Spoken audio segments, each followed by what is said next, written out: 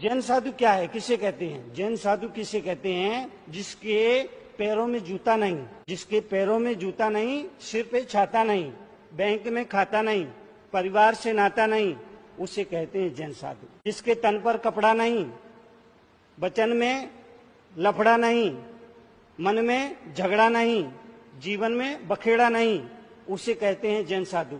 जिसका कोई घर नहीं, किसी बात का डर नहीं दुनिया का असर नहीं, जिससे बड़ा सुपर नहीं, उसे कहते हैं जैन साधु जिसके पास बीवी नहीं, साथ टीवी नहीं, अमीरी गरीबी नहीं, नाश्ते में जलेबी नहीं, उसे कहते हैं जैन साधु जो कच्चे पानी को छूता नहीं, बिस्तर पर सोता नहीं, होटल में खाता नहीं, परिस उपसर्ग आ जाए तो रोता नहीं उसे कहते हैं जैन साधु। और ये चार पंक्तियाँ बहुत महत्वपूर्ण हैं, जिसे नाई की ज़रूरत नहीं।